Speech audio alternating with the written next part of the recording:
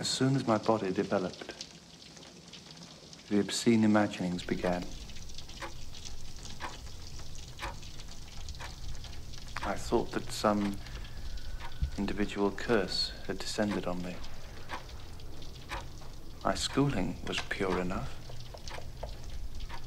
A terrific scandal there before my arrival meant that we were drilled all day and policed all night.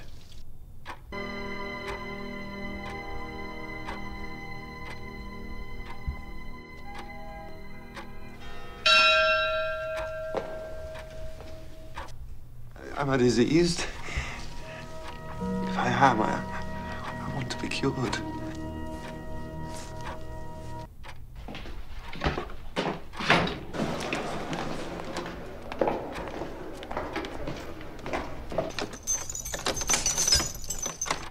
I do, do beg you to resist the return of this obsession.